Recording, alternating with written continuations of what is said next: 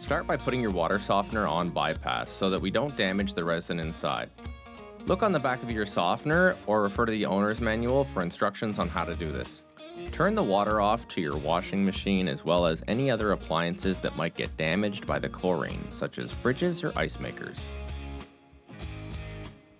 Next, we're going to remove any water filters that may interfere with the chlorinating process.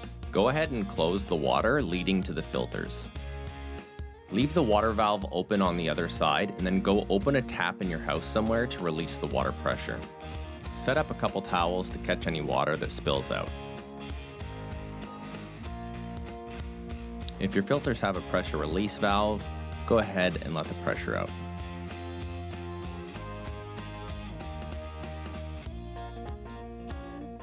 Now we're going to go ahead and remove the filters. Although I didn't do it in this video, I do recommend that you close this valve here just to be safe and make sure the water doesn't flow back down into the filter housing.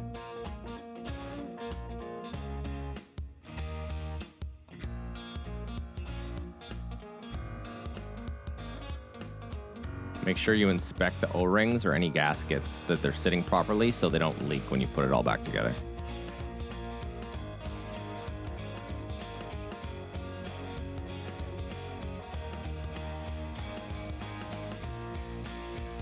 Dry everything up so you can easily tell if you have a leak, then go ahead and open the valve slowly to let the water flow through again.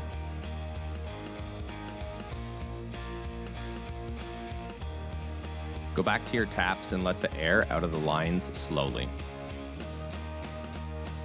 Now we're going to go and remove the lid from our well casing.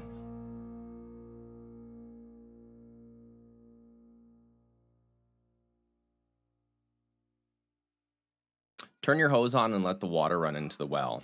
Then add your chlorine solution.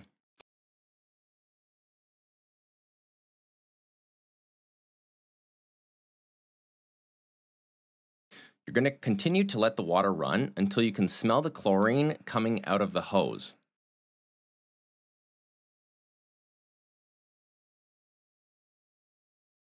Once that happens, I use the hose to rinse off the inside of the well casing and the well cap. Now you can go ahead and close it all up.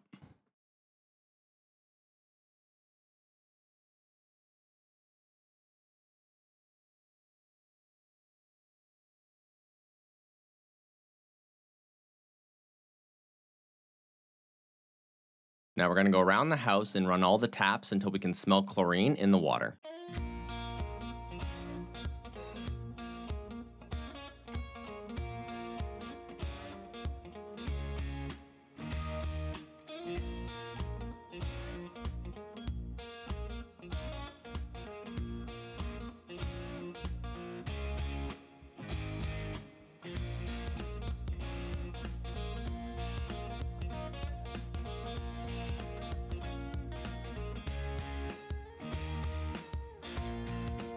Don't use your water and let the chlorine sit in your pipes for the next 12 to 24 hours.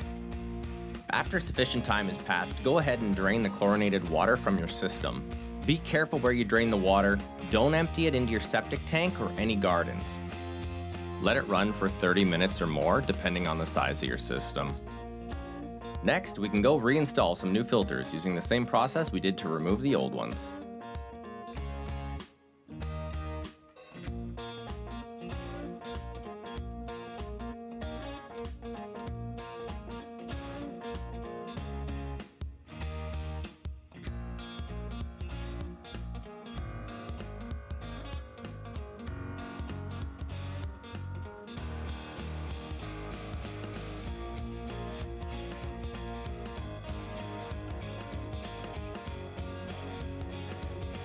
Go ahead and take your water softener off bypass and reconnect your appliances. Often when cleaning your well, you will loosen up some rust flakes or dirt. It can be a good idea to go around and check the screens on taps or appliances to make sure they are clear of debris and flowing well.